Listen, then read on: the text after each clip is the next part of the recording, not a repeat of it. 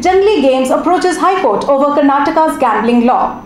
Junglee Games has approached the Karnataka High Court appealing against the state's online gambling law. The gaming platform operates Junglee Rummy, Junglee Teen Patti and fantasy gaming platform Howzat.